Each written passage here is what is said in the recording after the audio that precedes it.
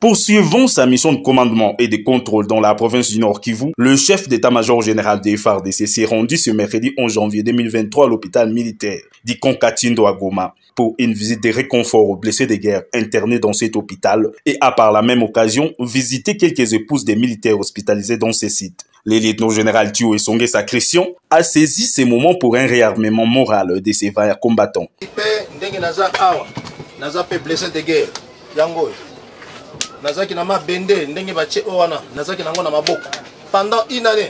Il a, avant son départ, posé un geste de compassion en laissant une enveloppe contenant une somme d'argent à ses militaires. Juste après, le numéro 1 de l'armée a pris la direction de l'état-major de la force régionale de l'EAC. À son arrivée, il a été accueilli par le commandant de la force de l'EAC, le général Jeff Niaga. Celui-ci a, au cours de cette visite, fait un briefing à l'intention du chef d'état-major général sur les déploiements des militaires de l'EAC aux opérations. Le général Tuo a donné quelques orientations au commandant de la force et a émis le vœu de travailler ensemble pour l'intérêt de la région. Autre étape, Mubambiro, à Sake dans les territoires des Massissi. Le chef d'état-major général a y à tenir sur les liens une causerie morale à l'intention des militaires cantonnés sur ces sites en provenance de Kisangani. Dans sa causerie morale, le général Chihuahua a prêché la discipline et a rappelé à l'ordre ses militaires en ce qui concerne l'utilisation abusive des réseaux sociaux dans les opérations.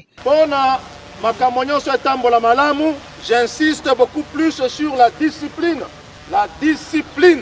makambo oyo tozomona des fois na opération bamilitaire boza na batelefone na opération bokomi kozwa baimage bareseau sociaux eza Dernière étape de sa série de visites, Kilimanioka, situé à 2 km de Kibumba dans le territoire de Niragongo, où le chef d'état-major général a inspecté les unités déployées sur les lieux. Dans les secteurs opérationnels Nord Kivu Sukula 2, sur la ligne des fronts, et aujourd'hui nous avons reçu une visite des marques.